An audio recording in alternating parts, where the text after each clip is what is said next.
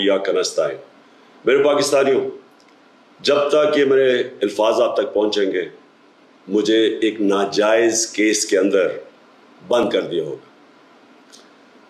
इससे एक चीज़ आप सबको वाजे हो जानी चाहिए कि पाकिस्तान में जो फंडामेंटल राइट्स हैं, जो हमारे आइन हमें हुकूक देता है, जो जमहूरियत है, वो दफन हो चुकी है।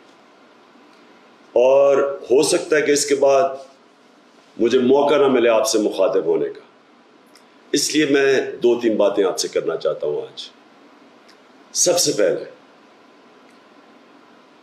पाकिस्तान की जो कौम है, वो मुझे पचास साल से जानती है।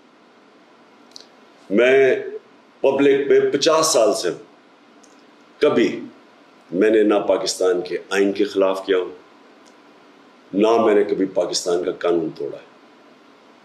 और मेरी हमेशा, जब से सियासत में आया, मेरी हमेशा कोशिश हुई कि मैं जो भी अपनी जदोजहद करूँ, वो पुरमन करूँ आइन जो मुझे हक देता है पुरमन एहतजाज का, उसके बीच में रह के करूँ। आज ये जो किया जा रहा है, ये इसलिए नहीं किया जा रहा कि मैंने कोई कानून तोड़ा है। ये सिर्फ़ इसलिए किया जा रहा है कि ये चाहते हैं कि मैं जो हकीकी आज़ादी की तहरीक है, इससे पीछे हटूं। और ये इसलिए किया जा रहा है कि ये करप्ट चोरों का टोला इंपोर्टेड हुकूमत, जो हमारे ऊपर मुसलत की गई है, ये चाहते हैं कि मैं उसको कबूल कर लूँ।